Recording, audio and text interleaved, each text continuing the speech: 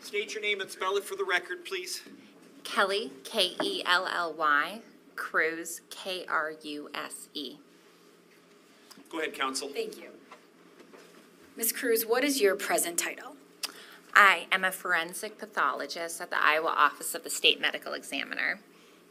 And Dr. Kruse, um, where did you grow up? I grew up in San Diego, California. And you indicated what your title is. Would that be fair to say that you're a doctor? Yes. And what are you a doctor of? I'm a doctor of forensic pathology.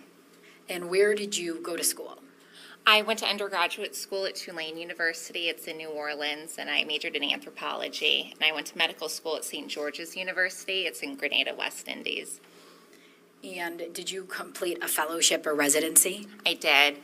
I did an anatomic and clinical pathology residency at St. Barnabas Medical Center, which is in Livingston, New Jersey. And I did a forensic pathology fellowship afterward at the Office of the Chief Medical Examiner of Maryland, which is in Baltimore, Maryland, So who are you currently employed by? by the Iowa Office of the State Medical Examiner. And where is your office located? It's located in Ankeny, Iowa. And what is your actual specialty? My actual specialty is forensic pathology, which is a subspecialty of pathology. What is pathology? Pathology is a subset of medicine where we study injury and disease processes and how those affect the human body. And how long have you been employed where you're currently employed? I've been at the state medical examiner since July 2018. And you are licensed to practice medicine? Correct. And in what states are you licensed? In Iowa. And are you a board certified forensic pathologist? I am. I'm board certified in anatomic, clinical, and forensic pathology. I know you told us what, what pathology is. Mm-hmm. What's forensic pathology? So, forensic pathology specifically looks at autopsies and how we use autopsies to determine cause and manner of death. Approximately how many autopsies have you performed in your career? As of today, I performed 606 autopsies. Doctor, what is an autopsy? An autopsy is a post-mortem examination of a deceased individual where we collect evidence, identify any injury, as well as disease processes that could lead to someone's death. And from that, we determine the cause of death and the manner of death. Your Honor, at this time, I would ask that Dr. Kruse be qualified as an expert in the area of forensic pathology. Mr. Firehelm?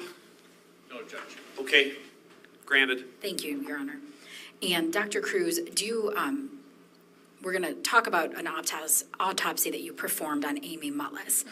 And do you- did you uh, generate a report regarding that autopsy? I did. And would that report aid you in your testimony today? Yes, it would.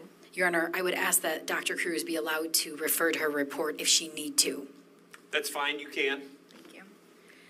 Now, Dr. Kruse, you ex- explained to us what an autopsy is, and you, um, can you explain to us how you actually perform an autopsy? Sure.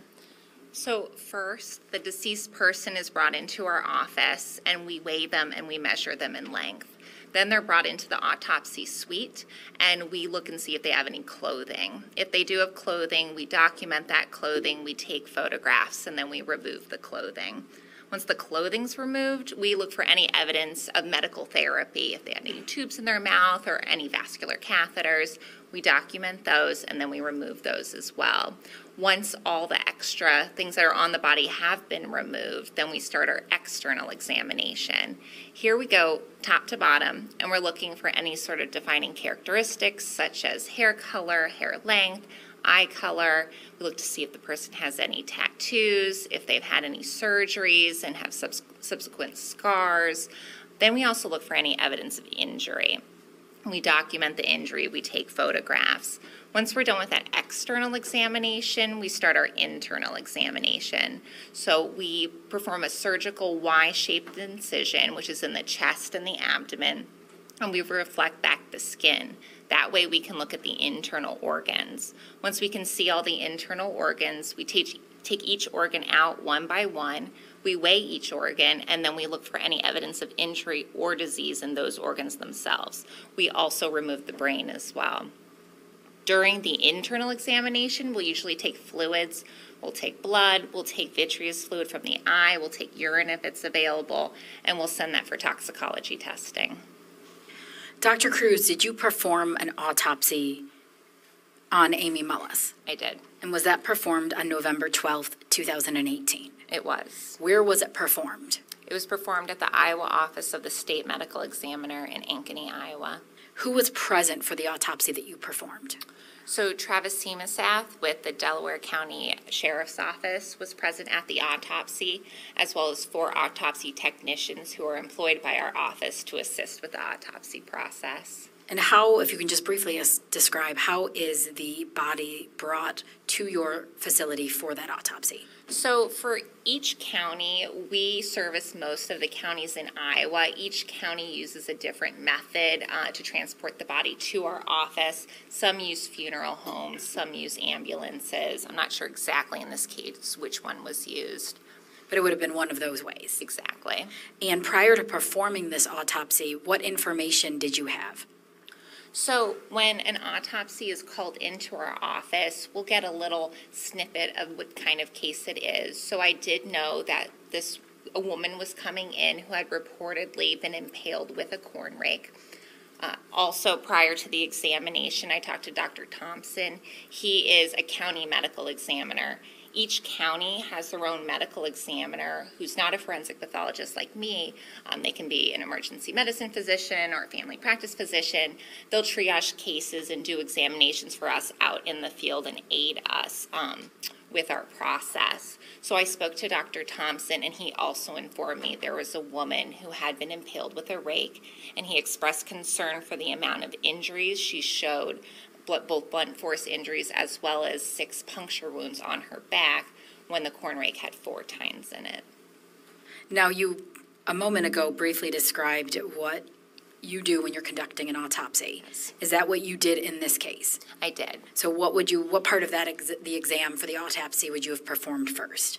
So first, Miss Mullis was brought in. We weighed and we measured her. She was not wearing clothing. Her clothing was brought separately, so we didn't have to remove any.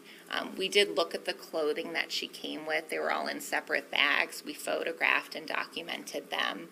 Uh, she had a number of emergency therapy devices on her. Those were all documented and removed. I did a thorough uh, external examination as well as a thorough internal examination. We also did toxicology testing on her. She did not have urine, so we just did it on blood and the vitreous fluid from the eyes. And when you say an external examination, I know you indicated earlier that's a pretty much top to bottom observation. Correct. At some point, do you also take photographs? We do. We take photographs of anything we deem important. We'll take photographs of tattoos, of scars, and obviously any injury that we saw. And there were a number of injuries on Miss Mullis that we took photographs of. And Doctor, you did in fact take photographs, as you just indicated, of Miss Mullis. Correct. Your Honor, may I approach? Yes. Doctor, did you have the opportunity to look through those pictures? I did. And are those the pictures that were taken of Amy Mullis's body on November 12th, 2018? They were of her body and some evidence as well. And are they a true and accurate uh, representation of her body as well as the other items that you described? Yes. And before we get to the pictures, um, when you first performed the exam, did you initially, or I'm sorry, did you also uh, photograph the clothing? Yes, we did. And you indicated other evidence. Was there anything else you also photographed? The corn, wa- corn rake in question was also photographed. And you indicated what you do with the um, external exam. What do you do with the internal exam, specifically in this case? So specifically in this case, since she had a number of external injuries, I wanted to look closely and see if any of those injuries corresponded to injuries on, in the internal organs as well. Um, the injuries were confined, the penetrating injuries were confined to the chest region, so I did identify some injury to the lungs um, as well, as well as blood in the chest cavities. Doctor, I believe you indicated at some point in an autopsy you generally look if there's any natural diseases. Correct. In this case, were you able to determine if there was any natural diseases? In Miss Mel- Mullis's liver, she had a small cyst, it's just a little opening with some fluid in it. It was benign. Did you believe that to be fatal in any way? No. Your Honor, at this time, I would ask that uh, States Exhibits 49 through 65 be admitted into evidence. Any objection? No, Your Honor. 49 through 65 are admitted. And Your Honor, at this time, I would ask to publish them to the jury. I will let you publish. Again, anyone who doesn't want to see these pictures or doesn't think they can see them, I'll give you a minute to either leave the courtroom or stand on this side of the courtroom. Uh, Counsel, you can go ahead and publish. Dr. Kruse, you talked about some of Amy's injuries that you photographed. Um, I'm going to show you, Exhibit 49. Is this a photograph of Amy Mullis from that day? Yes, it is. And I uh, see here, um, there's a, what appears to be a ruler on her chest? Yes. And what does that indi- indicate to you? So we use a ru- ruler for scale, and we also have a number on the ruler. That's our internal office number for organizational purposes, showing the year and what number autopsy she was that year. And that's what's listed on that ruler? Correct. Now, um, can you describe what you see in this picture, please? So on each of our decedents, we take a photograph. We call an identification photograph. We want just a photograph of the face. So this shows Miss Mullis's face. Coming out of the corner of her mouth is a breathing tube that was inserted during emergency therapy. Um, and you can also see some injuries on her face as well. And in this photograph, where do you see injuries on her face? So she has a small abrasion or a scrape in the middle of her upper lip. And she also has a much larger abrasion or a scrape on the, her left, left side of her chin with a surrounding contusion or a bruise. I'll show you States Exhibit number 50. What is this a photograph of? So this is a closer up photograph of the lower half of Miss Mullis's face on the left side. Again, showing that abrasion or the scrape in the upper lip and that abrasion and contusion on the left side of the jaw. Now, we heard yesterday from Dr. Thompson, but just um, so that everybody's clear, what's an abrasion? So an abrasion is a scraping of the skin that removes the top part of the skin, and it's indicative of blunt force injury. So you have an object that has a blunt sur- surface to it, and the impact from that scrapes off that top layer of skin. And what is a contusion? Contusion is also a bruise, which also comes from a blunt object, and that indicates there's bleeding in the surrounding skin. So from that impact, the blood vessels, vessels burst and cause that bleeding. Now, I believe you indicated blunt force injury or blunt force trauma. What is that? So blunt force trauma comes from a blunt object, and it indicates crushing or tearing or scraping of the skin from the impact of that object. Now, Dr., um, I'm showing you ex- people, I'm sorry, States Exhibit number 51. What's in this photograph? So this is a close-up photograph of Miss Mullis's ear. On the top part of the ear, there's an abrasion or a scrape, and also on the earlobe and in front of the ear, we see more contusions or bruises. She also had contusions and bruises behind the ear as well. Were you able to get a photograph of the um, contusions and abrasions and behind this ear? No, we did not have a photograph behind the ear. And you indicated those were, I'm sorry, were those abrasions or contusions behind? There were contusions behind the ear. She had earrings in when she came to our office, so it's reasonable to consider that her earrings hitting her ear or the back of her head could have caused that bruising. Now I'll show you uh, States Exhibit number 52. What is this a photograph of? This is more far away photograph of the top half of Miss Mullis when she, after she was cleaned and her medical therapy was removed. We can again see that blunt force injury on the face, on the lips, on the side of the jaw, and now we can see more injury on her upper chest and the top of her right breast. Um, there's a bit of asymmetry too to her breasts um, because her right breast implant was injured during the penetrate one of the penetrating wounds that entered her back. Now I'll show you People's Exhibit number, f- I'm sorry, States Exhibit 53. Is this a close-up of her chest area? Correct. This is a close-up of the chest, highlighting those abrasions and those contusions or bruises that were on her chest and the top part of her breast. And can you tell what these injuries are on her chest or where they came from? So they again indicate some sort of blunt force injury. Uh, it could be during some sort of struggle, really any sort of impact with a blunt object. I can't say with absolute certainty where they came from, but they are a blunt force injury. Doctor, I'll show you State's Exhibit number 54. What is this a photograph of? So this is a close-up photograph of Miss Mullis's right hand. She has a number of abrasions or scrapes and contusions and bruises on the back part of her hand and in the knuckle region. And State's Exhibit number 55. This is a close-up photograph of her left hand. She has a few more of these abrasions or scrapes and also some bruising as well on the back side of her hand in, in the knuckle region. These could potentially reflect defensive type wounds from a struggle. And State's Exhibit number 56. What is this a photograph of? This is a close-up photograph of Miss Mullis's right knee. She again has more abrasions and contusions on the right knee. State's Exhibit number 57. This is her left knee. She has some larger abrasions or scrapes and multiple contusions as well. Now, Doctor, we've talked about blunt force trauma. Can you explain what sharp force injuries or trauma is? So, in contrast to blunt force, we have a blunt object essentially hitting the skin. Sharp force penetrates the skin and cuts and divides as it moves through your body. You tend to have longer sort of injuries with a sharp force injury. We classically think of knives and things like that, but really anything that would be able to cut and divide the skin would be considered a sharp object. Now, throughout your exam, did you then um, perform an examination of Amy's back? I did. I'm showing you uh, People's Exhibit, I'm sorry, State's Exhibit number 58. What is this a photograph of? So this is a photograph mostly of the right side of her back and the right side of her chest. Her right arm is in that top right portion of the picture. And here we see multiple sharp force injuries that I identified at autopsy. And here, Dr. Kruse, how many blood, or I'm sorry, sharp force injuries do you see? We see a total of six, which was the number that I, I identified at autopsy. And just so we're clear, there's one right on, um, underneath, or on the picture on the right side, a small, uh, one underneath that appears to be arm. Yeah, under in, under the armpit area, she had one.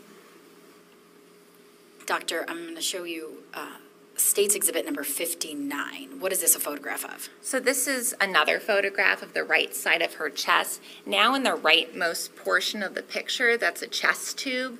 An incision was created and a tube was inserted during emergency therapy, and that's to get any sort of blood out that's potentially in her chest cavity. So that's not considered a wound. But right to the left of it is a sharp force injury. And then would it be fair to say that you, the, the one you just uh, described, you go to the left of that and you see a second one? I do. So the first one, um, the first one on the right entered the chest cavity through the ribs, and that's the one that also exited the chest cavity on the anterior surface and punctured the right breast and breast implant. Then if you go more to the left, above the M on the ruler is a second sharp force injury. In my report, just for the purpose of organization, I gave, made them A, B, C, and D. So the first one on the very right, I called puncture wound A. Then on the left, more left to it, is puncture wound B.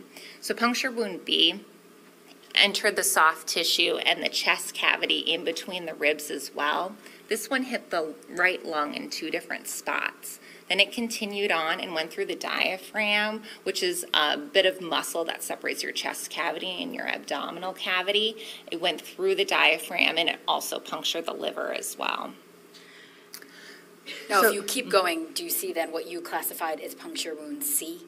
I do. So keep going left from puncture wound B are is C. They're two almost on top of each other. C is on the top and D is on the bottom. Would it be So- fair to see, say that according to the picture, C is a little bit smaller than D? Yes, it does look smaller. And what, um, what observations did you make in your exam of puncture wound C? So puncture wound C injured the soft tissue of the back of the chest, the skin, the subcutaneous tissue or the tissue right under the skin, and the muscle of the back, but it did not enter the chest cavity. And if you then go right underneath and a little bit to the left of that, would that be puncture wound D? Yeah, right below it, so you have that long kind of reddish line, that's an abrasion or a scrape. At the bottom of that is puncture wound D. And like puncture wound C, puncture wound D only injured soft tissue. It did not enter the chest cavity. Would, D, would it be fair to say that D then would be the, the lowest puncture wound that we see at this time? Correct. And um, puncture wound E, which one would you describe that being? So at the very top part of the picture, you see um, the la- little bottom part of the last puncture wound, not counting that one, the leftmost puncture wound next to C um, is puncture wound E. So puncture wound E did enter the chest cavity, but instead of the right side of the chest, it entered the left side of the chest. It went through the soft tissue in between two ribs on the left side of the chest.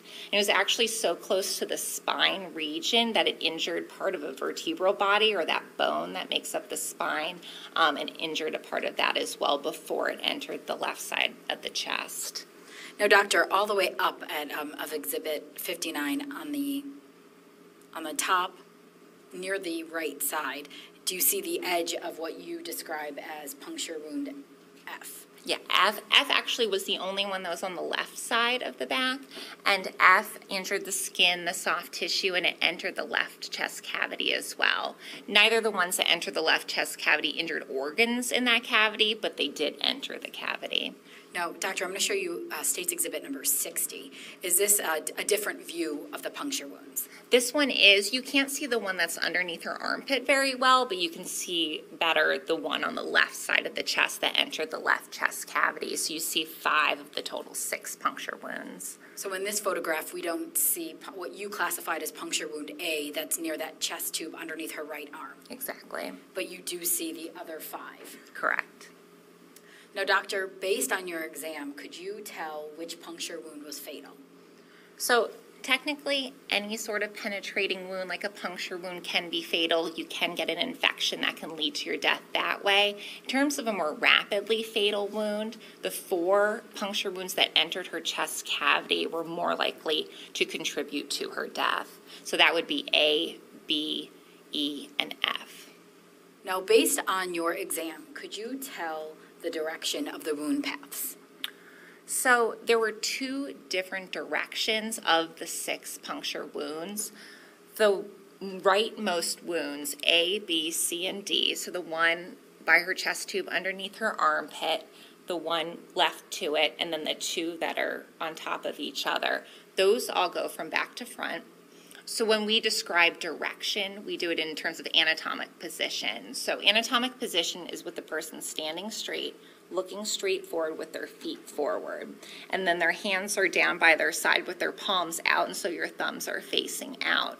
So with Miss Mullis in that position, those four wounds went back to front, right to left, and downward. The leftmost E and F also went back to front, right to left, but they went upward. And what do those different directions indicate to you? To me, they indicate that she would have to be impaled with the rake at least twice. And when you say at least twice, can you tell exactly how many times she was struck?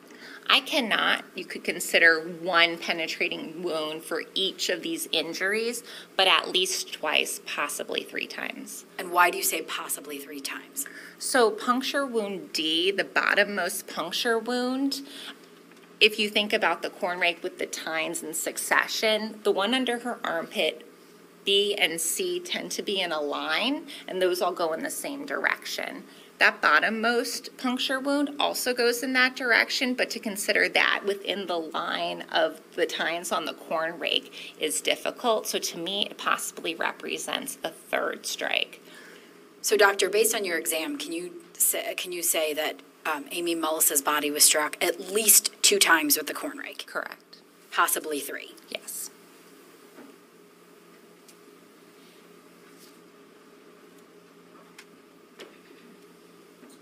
Doctor, what caused Amy Mullis's death? So, thinking about the puncture wounds that entered the chest cavity, when something penetrates your chest and you remove that object, you create a hole that allows, uh, allows air to go into your chest cavity. When it also penetrates the chest cavity and goes through the soft tissue between your ribs, it injures blood vessels that are there. So she had the injured blood vessels in addition to her injured right lung, and that's leaking blood into her chest cavities. So the combination of the air and the blood put pressure on your heart and your lungs, which are in your chest cavities, and that pressure really restricts the function of your heart and your lungs, which are very important organs in your body. So without any sort of therapy to relieve that pressure, death will occur. Now, doctor, I'm going to show you State's Exhibit number 61. What is this a photograph of?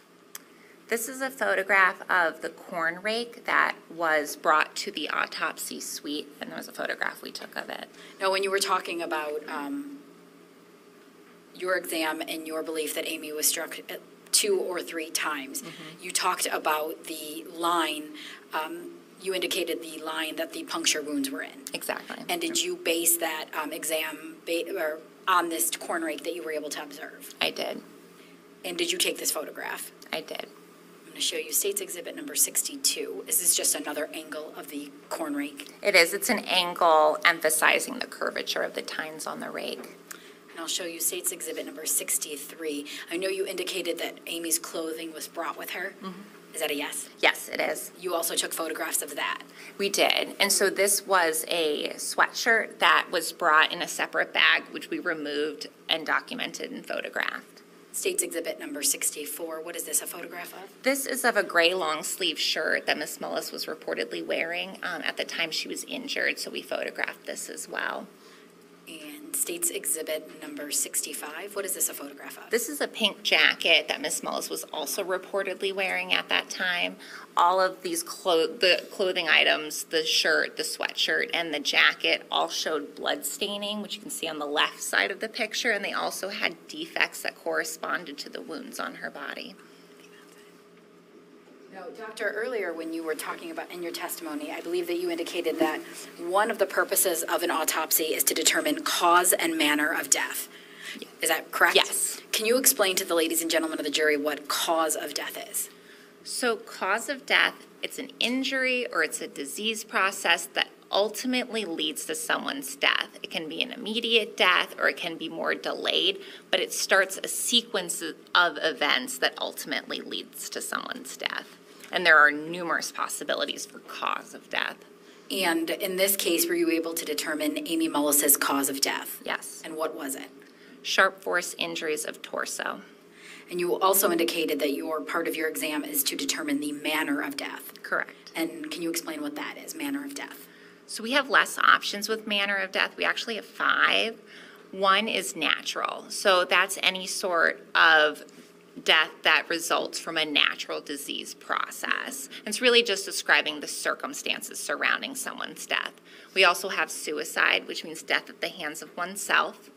We have homicide, which is death at the hands of another. Accident, death to, due to unforeseen events. You can classically think of a car crash. And then undetermined.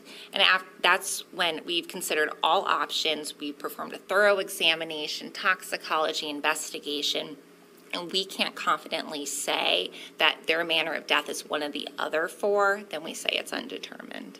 And in this case, what was the manner of death? Homicide.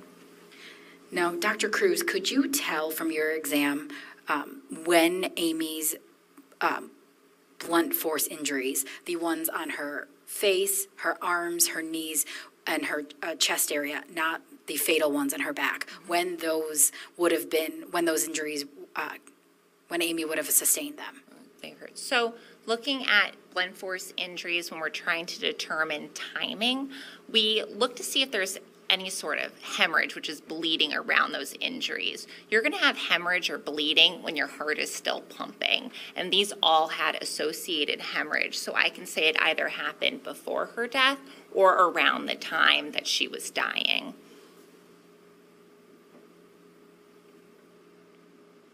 I have nothing further, Your Honor. Cross-examination.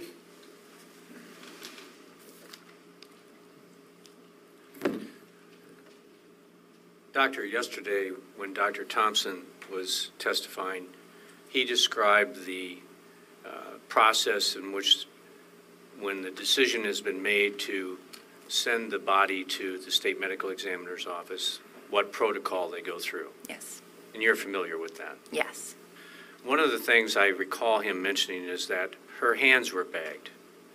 Uh, Is that how she arrived at your office? She did. And what is the purpose of bagging hands? So we classically bag hands if we want to maintain any sort of evidence that we think we might need. In cases where we think this might be a homicide or we think having fingernails might be important later on, we suggest bagging the hands. And this contains any DNA or evidence during that transport process that could potentially be lost when they're in a body bag, especially if there's a lot of blood involved.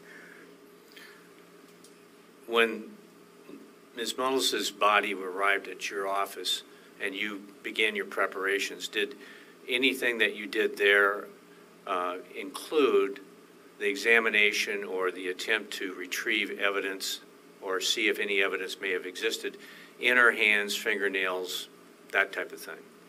May I refer to my Yes, go ahead. Thank you. Just wanna make sure.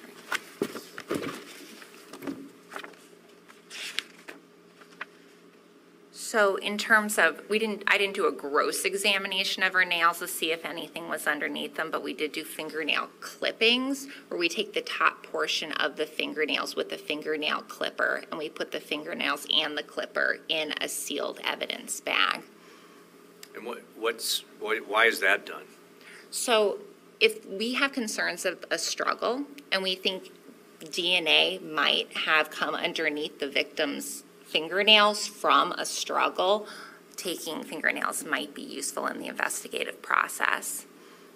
Do you know whether or not the fingernails taken from Ms. Mullis were uh, e- examined? I do not. Did anyone request you or anyone else in your office to do so? I do not know. Thank you, that's all I have. Thank you. Any redirect? No, Your Honor. Okay, thank you, ma'am. You're Thank free to you. go. And please, do you swear and affirm that the testimony you give in this matter will be the truth, the whole truth, and nothing but the truth? I do. Go ahead and have a seat. State your name and spell it for the record, please. Deb Scherbring. Deborah, D E B R A S C H E R B R I N G. Go ahead, counsel. Thank you. Ms. Scherbring, where do you currently live? Manchester, Iowa, And how old are you? 62. And which area did you grow up in? Um, Earlville, Are you married? yes, And do you have any children? 4. What's your current occupation? I'm a environmental service manager at the Manchester Hospital. How long have you been employed there? Next year will be 30 years.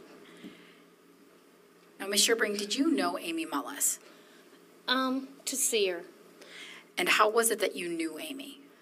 Amy worked in ER, and I would go in there and clean. And when you say in the ER, was she, she worked in the emergency room She worked in the emergency room as a nurse. I- at uh, Regional Medical in Manchester? Correct, The same place you've been at for 30 years. correct. Do you know when Amy started working there? I do not know the dates. Did you have a friendship outside of work or were you social with Amy? No, I was not. I see her in the hallways and small talk, nice weather, whatever. And did, at some point, did Amy stop working at Regional Medical Center? Yes, she did. Do you know when that was? I do not. After Amy stopped working there, did you maintain a relationship or friendship with her? I did not. Did you see her at all in those, in that time? I would say in the last five years, I might have seen her once or twice at my granddaughter's ball games. Now, Ms. Scherbring, uh, sometime at the end of August 2018, do you remember a phone call that you had with Amy? Yes, I do. Where were you at when you had that phone call? I got off work that day, probably around two or two-thirty. I was home and on my front porch working with flowers, and I received a phone call. Do you remember what time of day it was? I'd say three-thirty, four o'clock in that area. And was anybody else present with you when you received that phone call? No, I was home alone. Did you have Amy's number in your phone? I do not. What hap, did you answer the phone call or did you get on the phone? I had, I received a phone call and, um, I was outside and I couldn't really see who called. I did not have my glasses on. So when I picked up the phone, um, Amy was on the line. Did you recognize Amy's voice?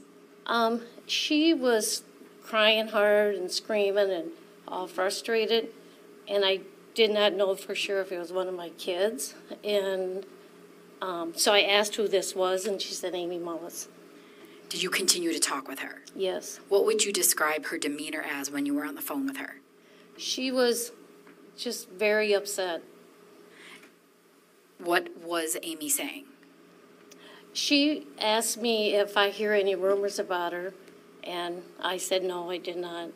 And being as I worked at the hospital, she was crying that she said she was having an affair, and it wasn't true. And if I heard any rumors at the hospital, please stop them.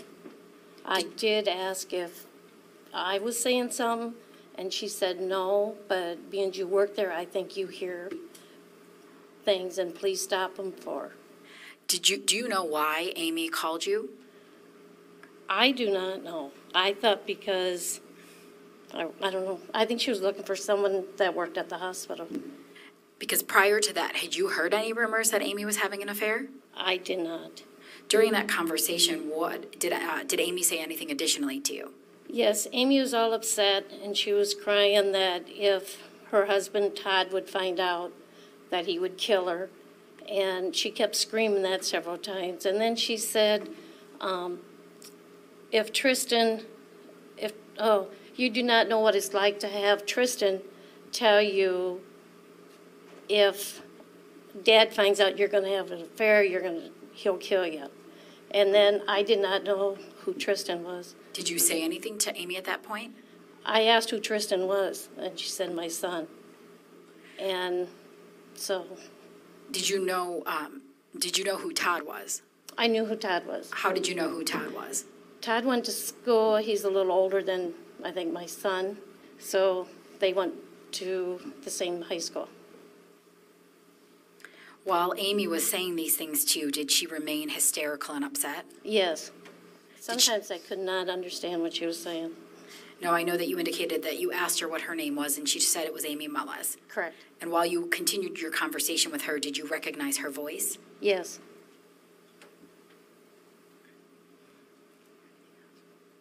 Are you sure?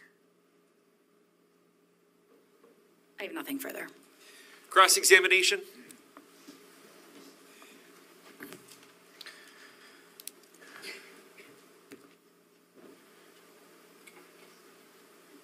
Ma'am, you- how many years do you work at the hospital? Next year will be 30. So you were working there during the years that Amy worked there. Correct. Uh, we understand from other testimony that she left her employment there approximately five years ago. Does that sound about right? I would not know. There's 400 employees, and I don't know when they come and go. All right. Um,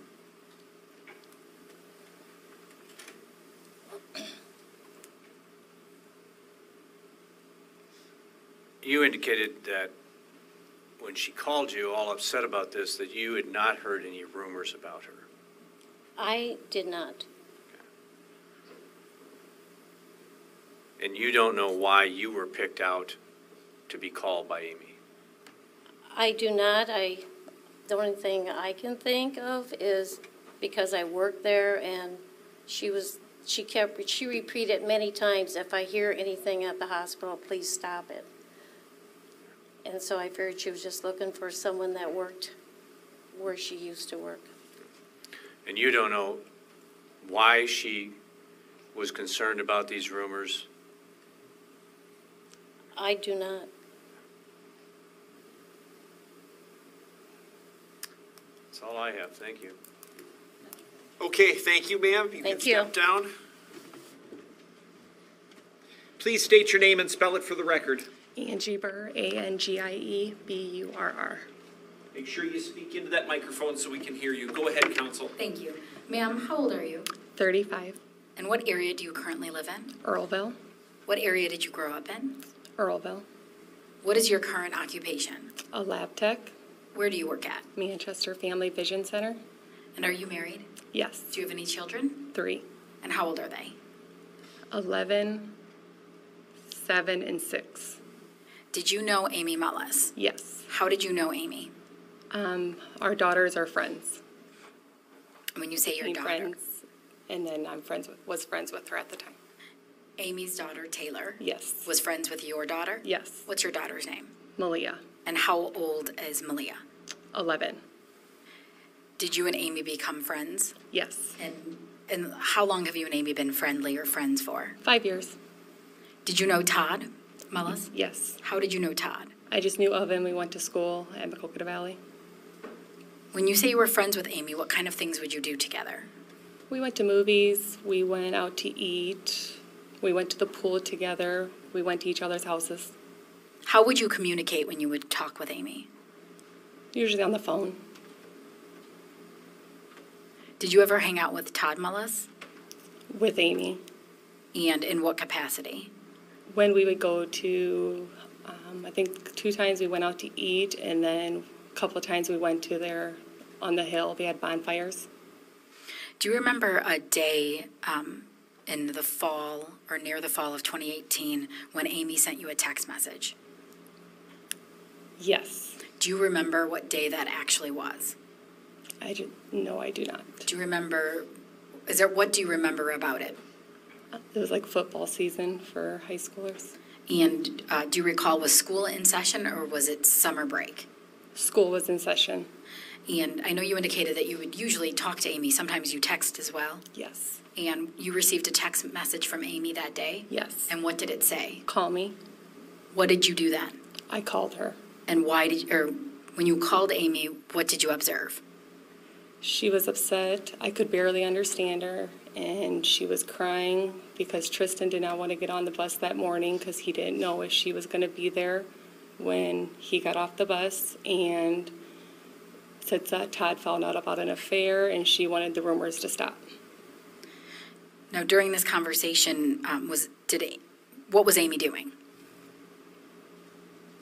I have no idea where she was at. I'm sorry, what were you observing of her behavior? She was upset and hysterical, and I just couldn't hear. All I could hear was she said something about Tristan not wanting to get on the bus and something about an affair, and she wanted it to stop. And Did you know what rumors Amy were, or what Amy was talking about? no, Did she say anything to you at that time about having an affair? just that the rumors needed to stop. And did she refer to what the rumors were? An affair. Now, um, Ms. Burr, another time were you at a bar with Amy um, where you had a conversation with her? Yes. And do you recall when that conversation took place? When? Yes. It would have been winter time on a Friday night. So would it be, Amy's death was in November 2018, correct? Yes. Would it have been the winter before that? Yes. And do you recall what month it would have been? It was probably one of the first Fridays in January. And was anybody else present for that conversation? No. What, if, did Amy ta- relay any information to you about her relationship with Todd? Just that she could never leave him because she didn't want to leave the kids. And did she tell you um, if she was happy or unhappy? She said she was not happy, but she wasn't going to leave him because she didn't want to leave the kids.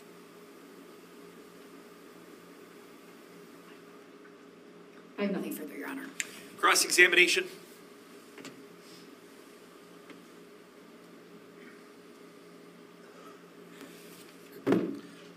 Excuse me, Ms. Brewer, um, how did you and Amy become friends? I mean, how did you cross paths? Our daughters became friends. Okay.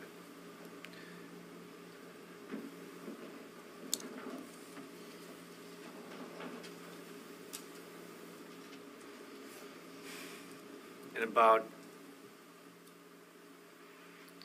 how far back would you say it went when it became just your daughters being friends to where you and Amy as parents became friends? Two years? And at least on a couple of occasions, that involved you and your spouse and Amy and Todd going out to dinner? Yes. and your family being invited to some ground where they'd have bonfires. Yes. That was on the Mullis farm. Yes.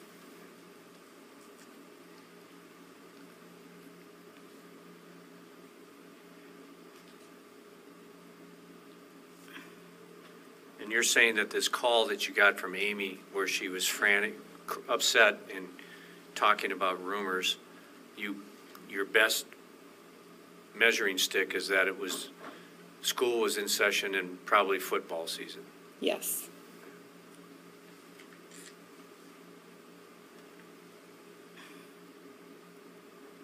But you're telling uh, the jury today you had no idea what she was talking about. No. Okay. That's all I have. Thank you, ma'am. Nothing further, Judge. Okay, thank you, ma'am. You're free to go.